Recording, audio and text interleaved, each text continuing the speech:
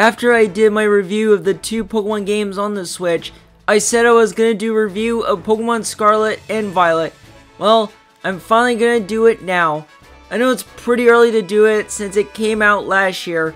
So, here's my review of the games. In this game, there are three stories to participate. You have Victory Road, which is like the mainline games where you battle gym leaders and entering the league. In Starfall Street, you battle a team organization called Team Star. And the other one is Path of Legends, where a trainer named Arven team up to defeat a few Titan Pokemon.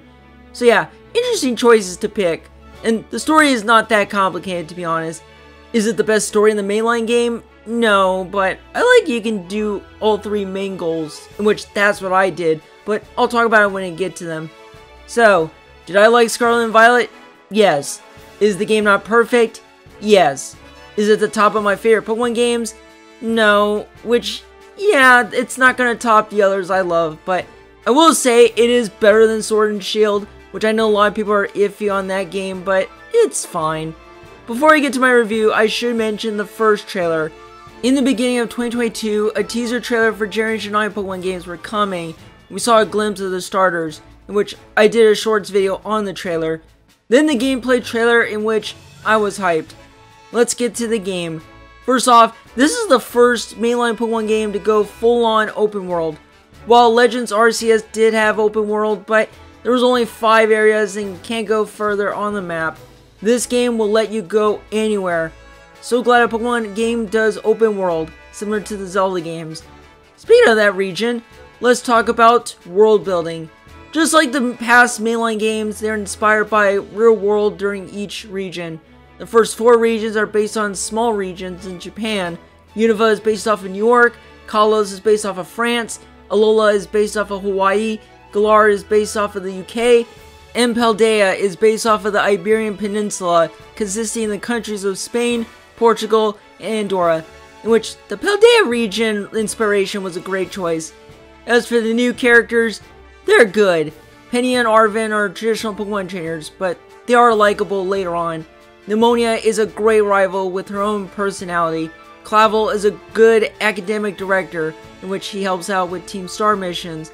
The gym leaders are okay. I know they're not as memorable as some of the past ones, but they got their own battle styles. Same with the characters from Team Star and Elite Four, but at least the characters are better than the characters from Sword and Shield, with some exceptions. The music ranges from great to okay. I know Pokemon Games has some of the best Pokemon soundtrack.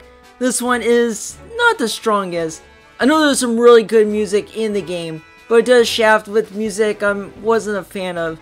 The graphics are visually stunning, even more than Sword and Shield. The gameplay remains the same with catching and battling mechanic, which I will always enjoy Pokemon games with the gameplay. The ending after you beat the champion was great, which it's like a post-game in a way. There's a story about the professor depending on the version and see what is the mystery on it, and it's actually one of the best parts in the game.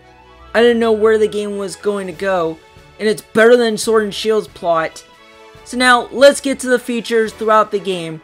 I will say the academy that the player intends is a nice touch, which that's never happened in the past mainline games before. The Titan Pokemon stuff was great. It actually reminded me of the Totem Pokemon from Sun and Moon, minus calling out an extra Pokemon. Was still really good overall. The raid battles returned in this game, since the feature was in Sword and Shield. It's alright, it's not one of my to-do lists in the game, but I like that you use Pokemon in raids to see what Tera types Speaking of that, the new addition in the game is Terastal. Ever since X and Y, they used one gimmick throughout the series. I will say, the Terastal was great to use if I have trouble with the team during a battle. I can use Terralize the Pokemon and change its typing. I like that the players used their last Pokemon with Tera types. They brought back hoarding counters, which is a nice thing. Mass outbreaks return in this game, and even sending out Pokemon in the field and having an auto battle with wild encounters. That's about it in terms of features, aside from Picnic and getting Gimmighoul coins, but that's less I gotta say. Now let's get to the Pokemon, mainly new ones. There are so many new Pokemon in the new generation. 105 new Pokemon, 9 for the upcoming DLC, and 2 Paldean region forms.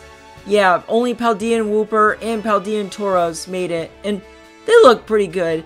The starters were a bit sus at first, but Fuecoco grew on me and Quaxly is still okay. But the final evolution, Quaquaval, does look really cool. It's a peacock Pokemon, guys. But for me, I went with Sprigatito. It's a cute cat, really good typing, and the evolutions are great. Same with Fuecoco's. Though, I like Floragato a bit more than Meowscarada, but I like both the same. As for other new Pokemon, I'm not going to go through all of them, but I have a few highlights. Pawmot is a nice electric-type rodent. Ceruledge looks edgy, but still very cool. Palafin looks awesome with the hero form dolphin design. Baxcalibur is a great dragon Pokemon, and Tinkaton looks amazing with a giant hammer as a weapon. There's even new evolutions for Pokemon in the previous generations, which my favorite out of the evolutions is Annihilape. This one looks awesome. It's pretty scary but very cool at the same time, and a nice callback to Primeape's Pokedex entry. Plus, the added Paradox Pokemon, different versions of Pokemon from different time, past, or future. They range from great to not good. Iron Thorns, Slitherwing, and Roaring Moon are some of my favorites from the Paradox, while Iron Jugulis is my least favorite. Now let's get to the legendaries. If you're playing Scarlet, you get Koraidon. If you're playing Violet, in which I own the version, you have Miraidon. Both of them look great. I even like you can use them for riding or flying. These are the replacements for bikes and HM moves. So yeah, with all the great stuff in this game, there are downsides to this game. While the map and the open world are great to explore, I did get lost a few times during the game, but it wasn't bad, it was just my first time experience. Also, like Legends Arceus, the textures are not that good and the slow frame rate. Those Sunflora frame rate looks so bad. I'm looking at stop motion animation. And I agree from people there's glitches in the game like getting stuck in the mountains or the game freezing or weird shots and even lighting. Seriously Game Freak, did this game need to be broken in certain parts? Oh well, the game did get a few updates, but I don't know if it's still causing it after the updates. As for the others I mentioned, like some of the music, some of the characters, and some of the Pokemon are not the strongest points. Besides the flaws, Scarlet and Violet are really good Pokemon games. If I had to rank this with the other Pokemon games on the Switch, it would be in third. It is better than Sword and Shield. Even though I have some people like Scarlet and Violet over Sword and Shield, fair enough, I don't hate Sword and Shield as much as anyone else. If Scarlet and Violet didn't have glitches or the game being broken, it would have been solid. But Legends Arceus is a better Pokemon game on the Switch. Still, I had a fun time playing the recent mainline Pokemon games, and maybe if the next generation will get better, just don't let that future Pokemon game get broken or glitchy, please. Also, the DLC is coming with both parts, and I can't wait to try them. Maybe someday I'll try to get the DLC, since it looks good from what I've seen. I'm looking forward to it. That is all for the review of Pokemon Scarlet and Violet. Let me know where you rank this game with the other Pokemon games. Is it better than Sword and Shield, or why you like Sword and Shield more than Scarlet and Violet? I'm curious to know. Next video will be coming in September, so I can work on a few videos. But I will see you all in the next video.